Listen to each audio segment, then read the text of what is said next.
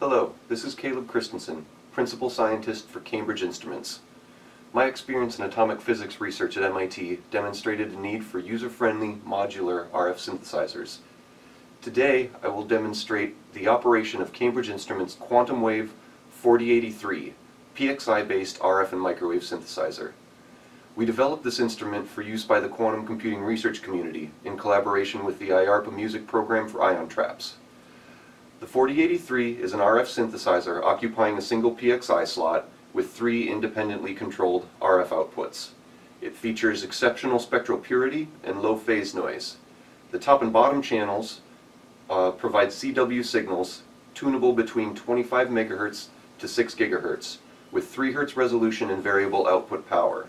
The middle channel provides a user-specified microwave band with fixed output power. This card contains the band from 7.2 to 7.8 GHz, suitable for calcium and ytterbium ions.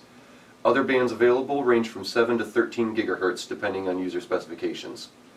Please visit cambridgeinstruments.com and leave feedback so we can provide solutions for your applications or experiment. Now I will insert the card into a PXI chassis and demonstrate how to use the GUI to control the instrument.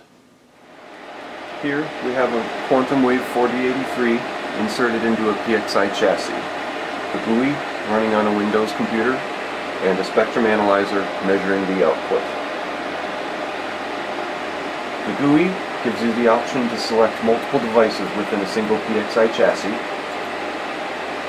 change the frequency of any channel, adjust output power by changing an attenuator and turn any particular channel off, on, or all channels off and on. You can see the signal arriving as I adjust attenuation. You can see the signal level change.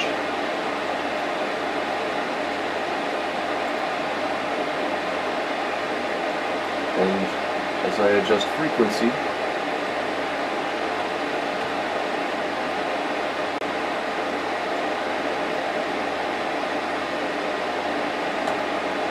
you can see the signal moving around the frequency band.